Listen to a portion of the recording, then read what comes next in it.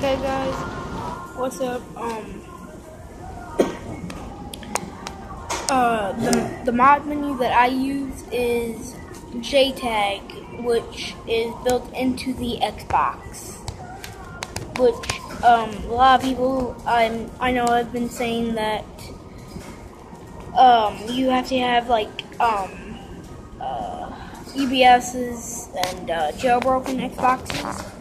No, you can't. That's mo- that's mostly um, uh, mostly the PS3 and uh, somewhat the PlayStation 4, but on Xbox One and Xbox 360, the um, jailbroken is not possible. You can get LED lights for the Xbox One and, P- and Xbox 360, but not the not the Xbox One and the Xbox 360. And I will leave my my my two mod menus down in the um, in the uh, description down below, which you guys can go ahead and check those out. So yeah, you guys, you guys, peace out. Yeah.